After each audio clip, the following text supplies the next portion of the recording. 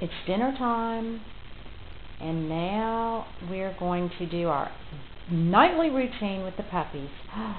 Roxie's just licking her lips, drooling a little bit. We're going to say our prayers. So we're going to, and you see there's Roxie's food. There's Kizzy's food. Oh my goodness, he can hardly stand it.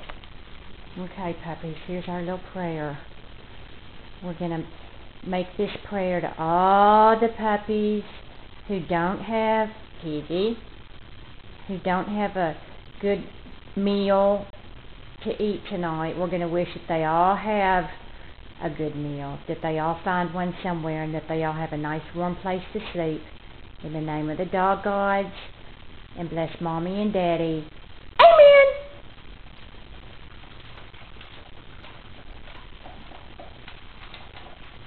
That's the routine.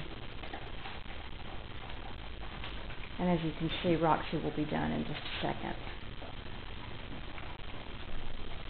She tends to gobble her food. That's it. Amen.